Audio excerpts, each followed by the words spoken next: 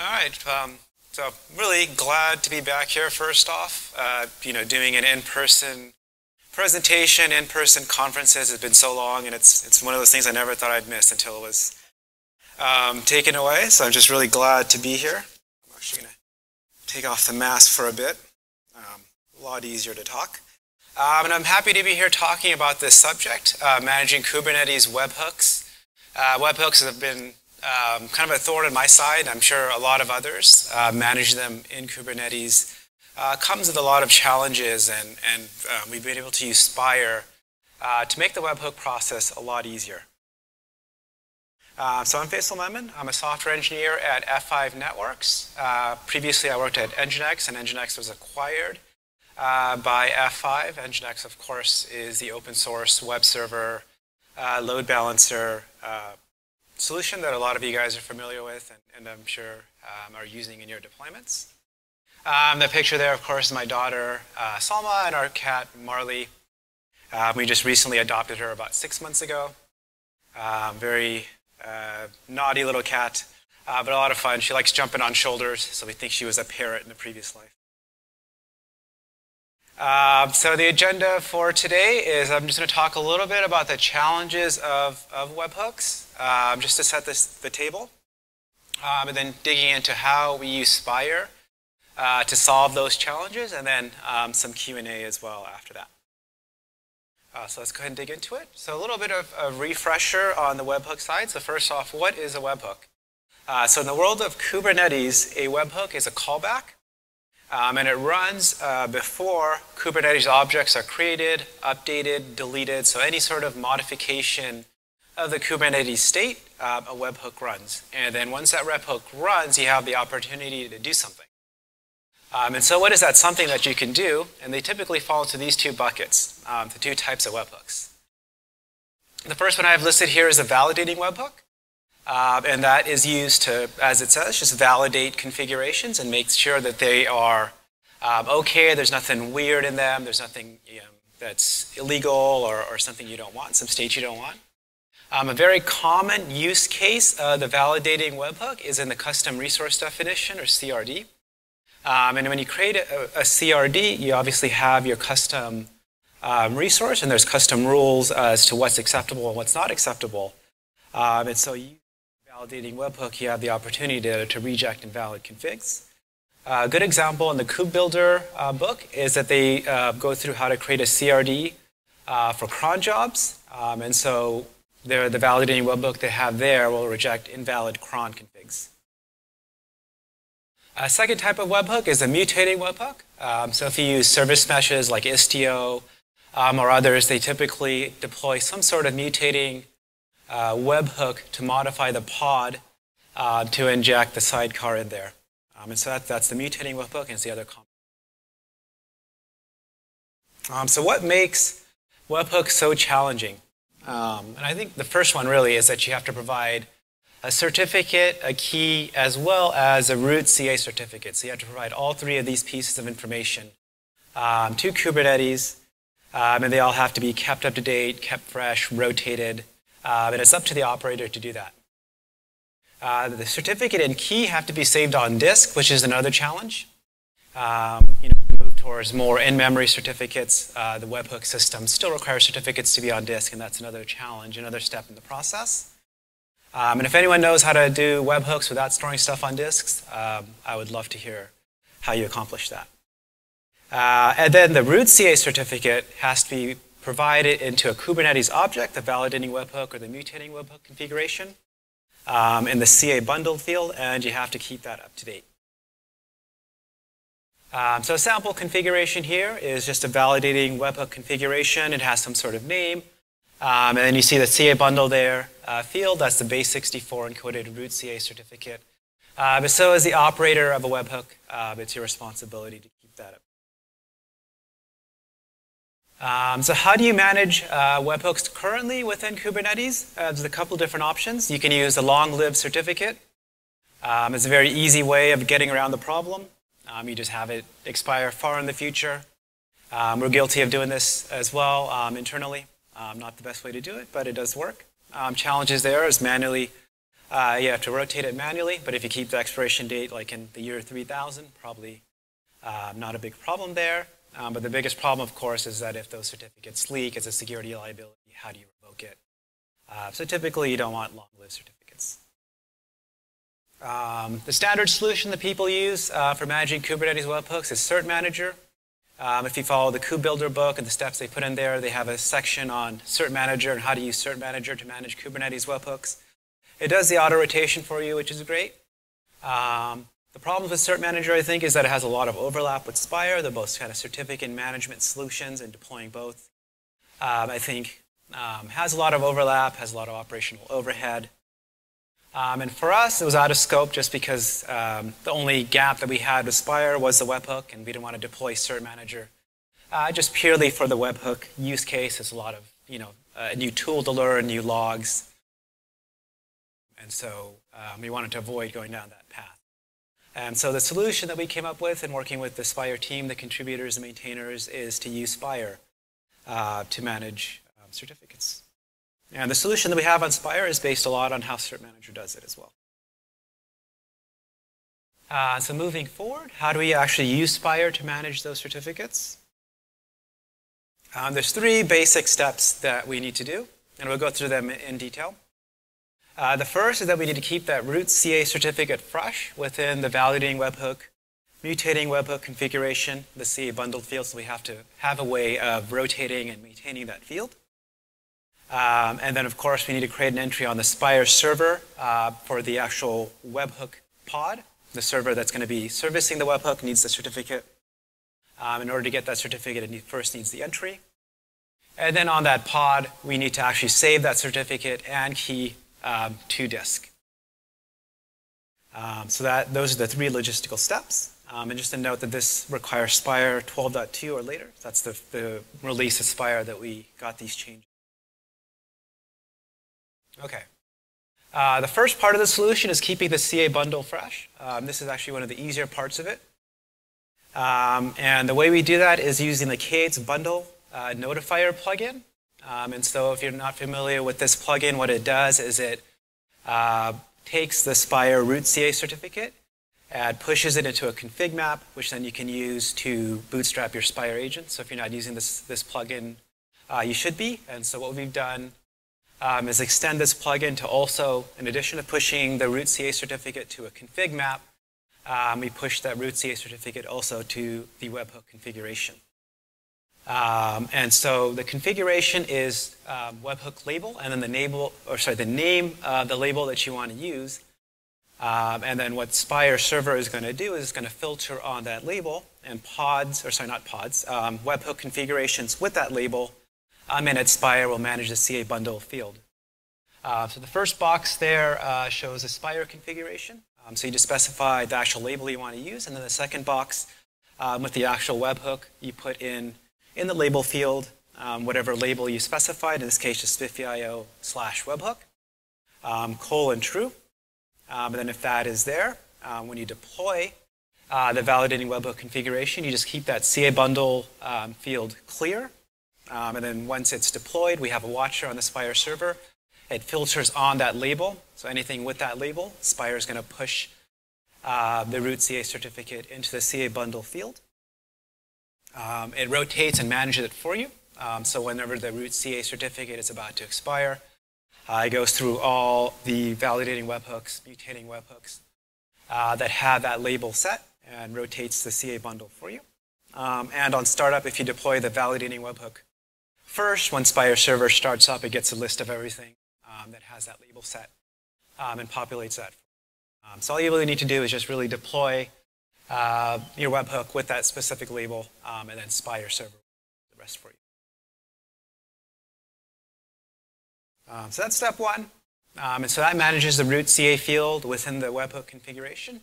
Uh, the next thing we need to do is create an entry on the Spire server. Um, there's two ways you can do that. You can just do it manually. You can go onto the Spire server uh, CLI and just do the create entry as you normally would. Uh, the only thing you need to pay attention to is a dash dash DNS. So you need to create a DNS name um, in this specific format, um, the name of the service that you've deployed um, along with the webhook, dot namespace um, that it lives in, dot SVC. Um, the Kubernetes API server expects that uh, DNS name to be in the certificate.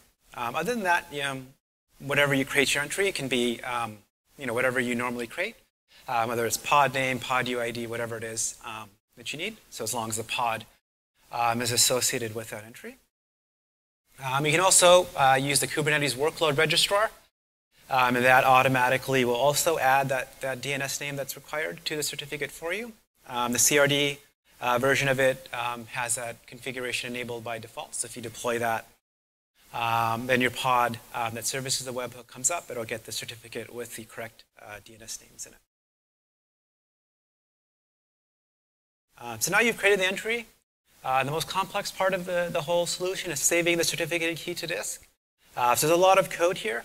Um, um, just first thing to keep in mind though is this is just based on uh, the go-spiffe example, uh, the watcher example, sorry, and the go-spiffe v2 directory. So what you're doing here is we're creating a watcher uh, that watches for new certificates uh, using the go-spiffe client. Um, and then when the new certificate comes in, we, we save it to disk. Uh, so the first thing to pay attention to here is the imports. I have an import in my, my private GitHub, or not private, public GitHub, uh, that just has some routines, uh, two routines to save to disk. Um, if you don't want to import yet another uh, library, you can just go there and just copy those routines. Um, that's not, not a lot of code. But in any case, uh, moving forward, um, we create the go-spiffe uh, client as you normally would. Um, in this first step here, Uh, so that first block there, um, and then the second block there, we start it using the go function. So that starts uh, the go-spiffe client. And then after we start the go-spiffe client, we wait for certificates to be on disk. Uh, we have to have a barrier there uh, because if we try to start the webhook server without the certificates on disk, it throws out an error and then it crashes and goes into that, or sorry, restart loop. So you have to make sure the certificates are there on disk. And so I have that in, in my GitHub, there's a little library function that just um, waits for uh, the certificate on disk. Um, the wait for certificates to disk function just waits about three minutes. Um, and after three minutes, it times out and gives you an error. Um, and then if the certificates are there, of course, it returns. Okay. Um, so that starts up the go-spiffe client. Uh, the thing to keep out for, one more thing to keep out for is this X509 watcher field. Uh, so we're passing the directory um, that we're saving the certificates to. Um, to the next part of this slide, um, which is uh, the watcher struct. Um, and so if you're familiar with the go-spiffe client, um, what happens is that every time that there's a new certificate, this on context X509 X, on X509 context update gets called.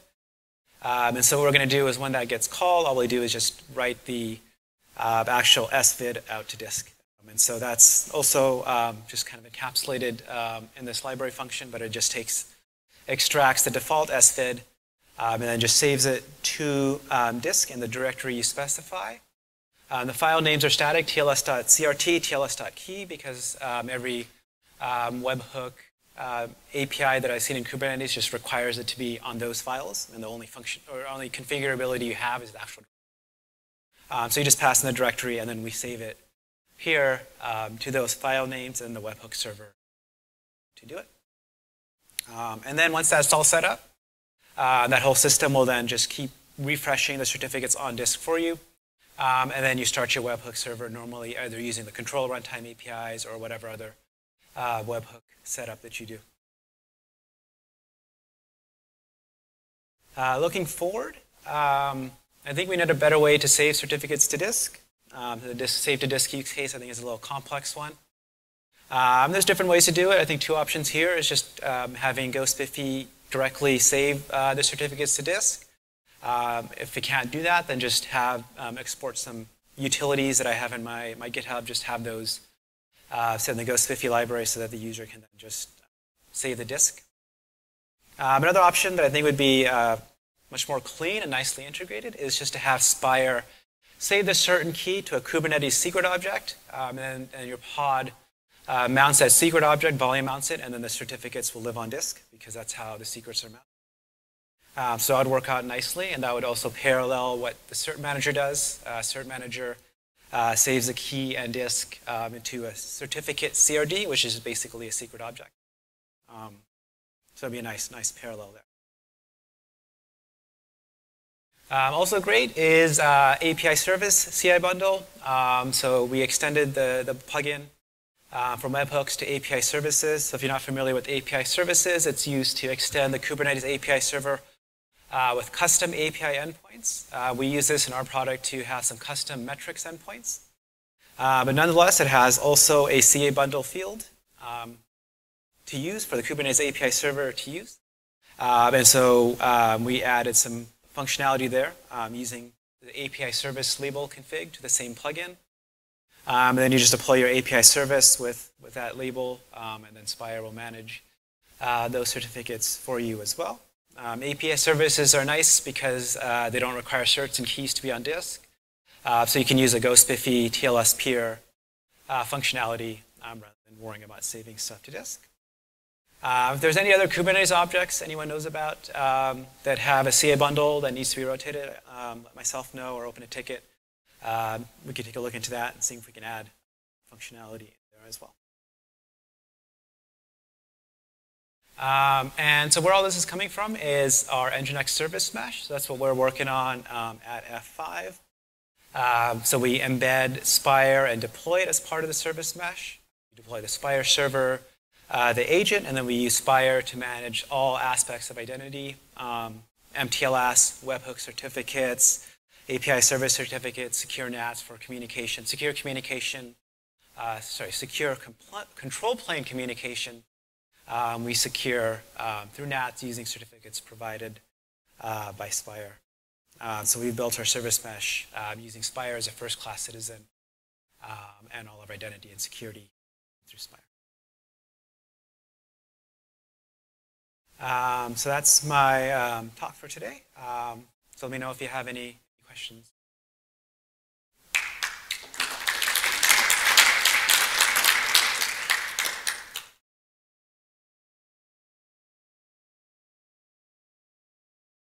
Well, I've got one. Uh, you mentioned on the last slide that, that uh, the Nginx service mesh uses Spire for all of its identities.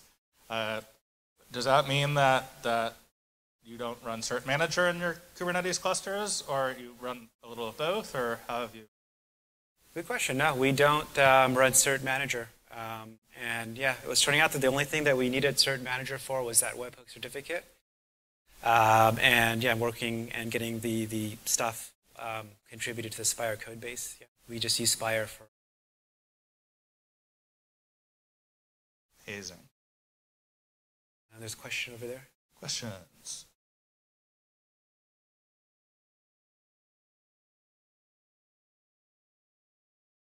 Just a simple one, which is, have you done any scale testing with using Spire for doing the CA rotation, for creating the CA? Uh, so the question is, have we done any scale testing?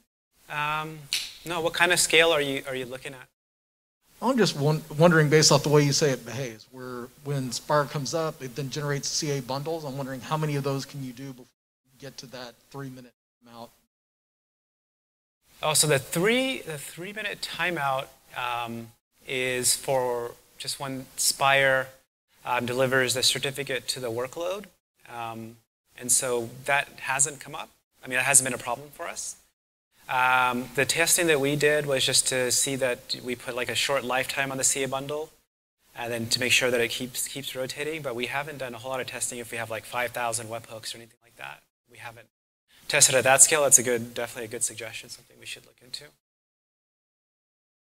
Shameless plug on that. Uh, on, on Thursday, I'll be giving a session with, a, with a, another community member on scaling Spire to 1 million nodes. And they're running Kubernetes. So if you have questions like this, I highly recommend you attend that session.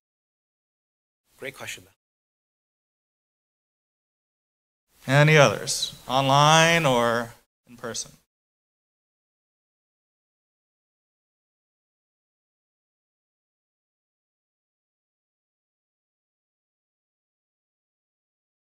Let me go ahead and say no. If any questions come in on the platform after the fact, we'll just drop them in Slack. Thank, Thank you, you again, Faisal. This was awesome.